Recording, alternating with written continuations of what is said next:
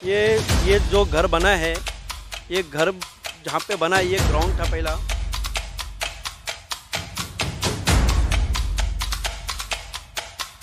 कभी आग लगता है तो भागने तक के लिए कोई जगह नहीं बचेगा। दस बाई दस का जगह दिया था तो उन्होंने और चार चार फुट बाहर निकाल लिया है।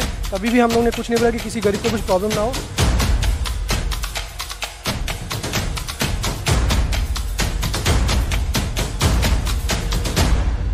नमस्कार महाराष्ट्र बंधु न्यूज़ में मैं अफजल मंसूरी आपका स्वागत करता हूँ।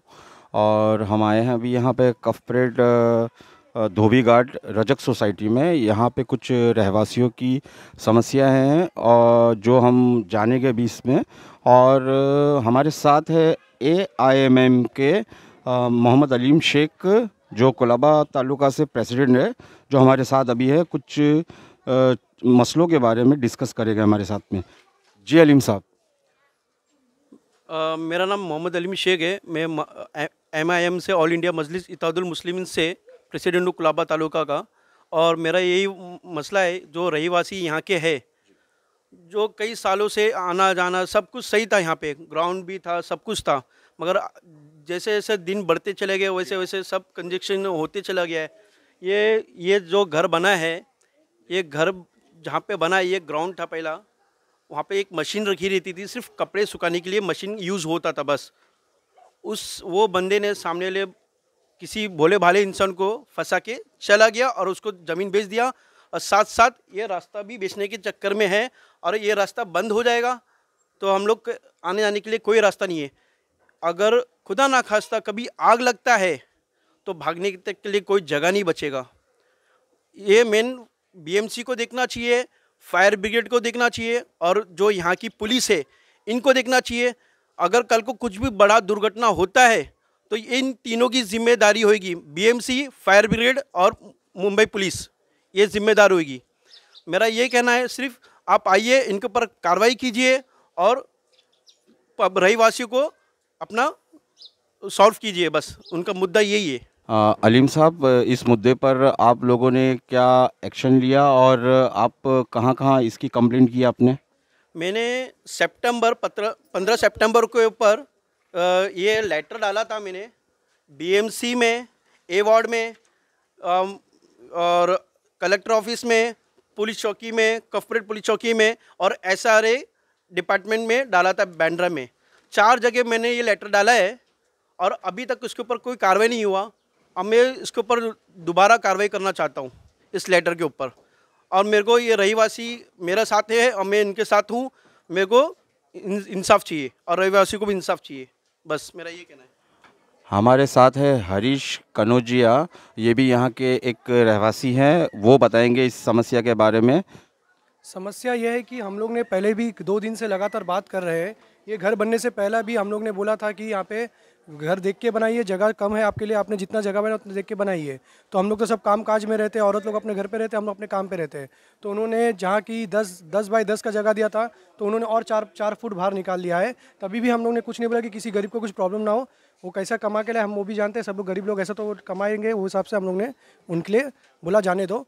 तो अब सीढ़ी का मसला ये है कि अभी कल को आग लगता है जबकि जब मेरा डैडी ऑफ़ हो गए थे 2019 में, तब मेरे डैडी का मैयत लेके जाने के टाइम बॉडी टेढ़ा करके लेके जाना पड़ा था। तो आज ये सीढ़ी आ जाएगा। तो कल किसी, कोई बुज़ुर्ग को कुछ हुआ तो कैसे लेके भागेंगे हम लोग? कैसे लेके जाएँगे किधर? कल को आग लगा, कैसे उठा के लेके भागेंगे? बच्चे लोग कैसे कैसे भागेंगे? किसको कहाँ कहाँ कैसे देखेंगे हम लोग?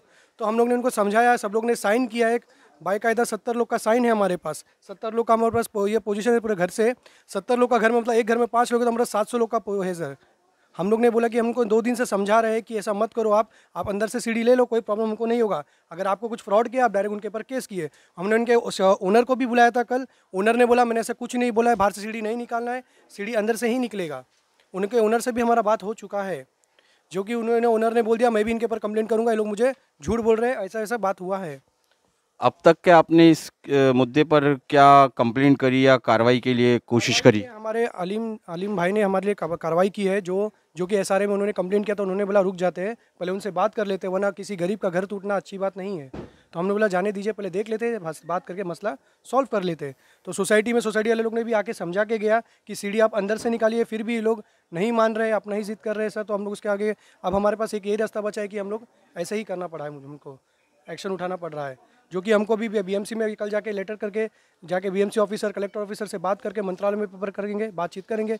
मैं खुद यूथ कांग्रेस का जनरल सेक्रेटरी हूँ तो ताकुलाबा तालुका का। मैं खुद भाई से बात करूँगा, भाई जब सर से बात करूँगा इस मुद्दे के लिए। देखूँगा कि क्या बात होता है, उनका क्या एक्शन लेते हैं। और ये बहुत ज़रूरी है।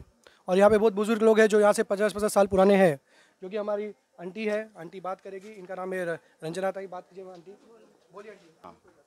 रंजना ताई, आप हमारे साथ में हैं। इस मसले पर आप क्या कहना चाहोगी? मैं यही कहना चाहूँगी कि देखो, ऐसे मतलब ये है कि कल के दिन कुछ अंगार लगती है, कोई बड़ा हादसा होता है तो इंसान कहाँ से भागेगा? बराबर ये एक ही रास्ता रह गया। अगर उन लोगों ने घर लिया है तो उससे हमको कोई प्रॉब्लम नहीं, कोई तकलीफ़ नहीं। वो लोग ने रहना अच्छा पर मेरा कहना यही है कि यहाँ से सीढ़ी नहीं निकालना चाहिए। सीढ़ी निकालेंगे तो रास्ता कितना बड़ा रह जाएगा। कैसा आएँगे जाएँगे। दूसरे हमारे धोबी लोग हैं उनकी गठिया वगैरह अगर गाड़ियाँ नहीं निकलेंगी तो खाएँगे क्या? बराबर। बस मेरा यही कहना है कि वो लोग उनके घर में वो लोग कुछ भी करें और मेरा उनसे कोई तकलीफ़ नहीं है मेरी। तो आप लोग महिलाएँ जो इतनी सारी यहाँ पर सोसाइटी के अंदर है आप लोगों ने कंप्लेंट या क्या कार्रवाई के लिए कुछ कदम उठाया? वो आलिम शेख है वो ही कर रहे उन, उनके साथ हम लोग भी है। अब एक ही गली के सब हम रहने वाले तो उसको अकेला तो नहीं छोड़ सकते। हमारे साथ यहाँ पर एक ताई खड़ी हुई है जो यहाँ पे पुरानी रहवासी है। वो इस मसले पे हमारे साथ में बात करेंगी।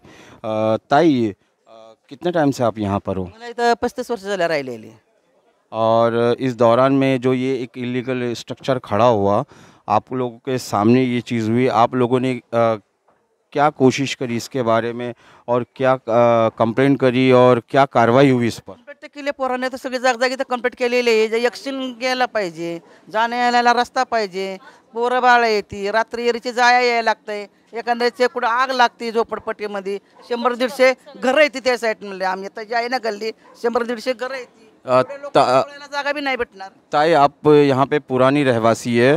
तो उससे पहले जब आप यहाँ पर रहती थी तो उससे पहले ये जगह पे क्या था? हाँ जागा मोकळी होती इकड़ी। अच्छा। जागा इकडे पहिली मोकळी होती आता नंतर आपल्या जशी जागा ज्याला अपत मिळेल तशी त्यांनी मिशनी लावल्या कपडे धुवायला जागा केली त्या लोकांनी म्हणजे आता आस्ते आस्ते आस्ते आपल्याला टाकायला लागली देऊन शेनी तो जब ये लोग ने यहाँ पर बनाना शुरू किया तब आप लोगों ने इस पर वो टाइम पर कार्रवाई क्यों नहीं कर, करने की कोशिश करी? टायमाला पोरं लहान लहान होती ना कोण करणार कंप्लेंट नाही नाही आता जेव्हा या लोकांनी घर बनवलं नाही त्याच्याशी आम्हाला काही त्रास नाही त्यांनी घर बनवलं ठीक आहे राहा तुम्ही. त्याच्याशी आम्हाला काय नाही पण आमचं माझं हे म्हणणं आहे की ही रस्ता जर थांबला तर मग आम्हाला किती प्रॉब्लेम होणार आहे. आमचं तर सोडा पण ज्यांच्या गठ्ठ्या वगैरे जातात त्यांच्या गठ्ठ्या बंद एवढ्या लांब रोडवर तर कोण उचलून नेणार नाही. एक वेळा गेला माणूस ठीक आहे. दहा वेळा तर जाणार नाही. मग त्याच्यानंतर ते लोक खाणार काय जर काम बंद झाली तर? हे बोलायचं. दुसरं काय नाही. त्यांच्या घराशी आम्हाला इंसान कहाँ से जाएगा? अगर जाएगा भी तो कहाँ से जाएगा? अगर कल को कोई दुर्घटना होती है चाहे किसी बहुत सी औरत लोग प्रेग्नेंट है हमारे इधर कल को इनको कुछ हो सकता है तो हम क्या कर सकते हैं? हमको इंसाफ चाहिए बस। ना इधर सीढ़ी लगे ना इधर दिवाले उठे। बस हम देखिए दीदी आप मेरे सामने तो इतना कुछ बता रही है। आपने क्या कोशिश करी है कार्रवाई के लिए? हमने अलीम शेख को सब कुछ कार्रवाई के बारे में बता दिया था हाँ, कि यहाँ यहाँ ये सब सेक्शन चल रहा है। तो उन्होंने हमें बोला कि ठीक है हमारे साथ सब जुड़े रहो हम सब करेंगे। तो उन्होंने को हम लोग ने अपना केस उनके हाथ में दे दिया है।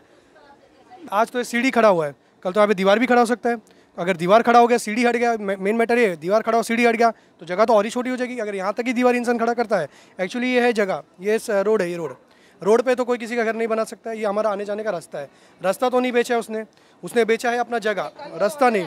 और जो ओनर था ओनर खुद बोला है कि मैं इन लोगों के पर कंप्लेंट डालूँगा, जो मुझसे मुझसे खरीद के यहाँ पे सब लोग से झगड़ा कर रहे हैं, काम नहीं कर रहे हैं।